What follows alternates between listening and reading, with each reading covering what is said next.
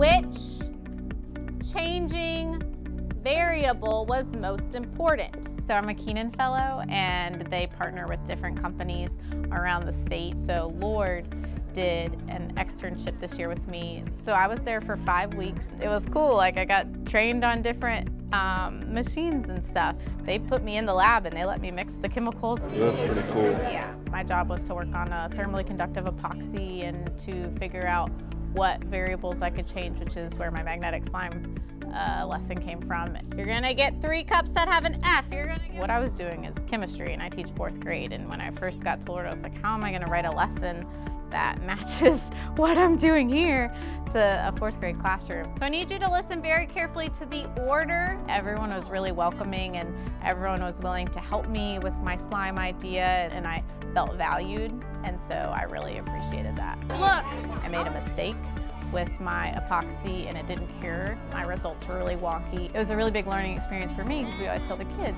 mistakes are good, that you know, you learn from your mistakes. So it ended up driving me to learn more and do better at Lord. And so I thought that was really powerful and I try to bring that back into the classroom. One, two, working at Lord, it's really important to be able to work together and I want to foster that here too. For us as a class to see how the different slimes with the changed variables affected how magnetic it was. It's also very heavy because And I've told some of my former teammates at other schools and other coworkers about it and they're like, oh, how do I get to work with Lord? That sounds really awesome. We still got a mix. I feel like it's really important to continue to grow yourself as a teacher. I don't get those experiences now, and so it was really neat to be able to, to take a fresh perspective on things and kind of put myself in the role my students are normally in. A small amount will stick. I would do it every summer again if I could. I just think it's a really great learning experience.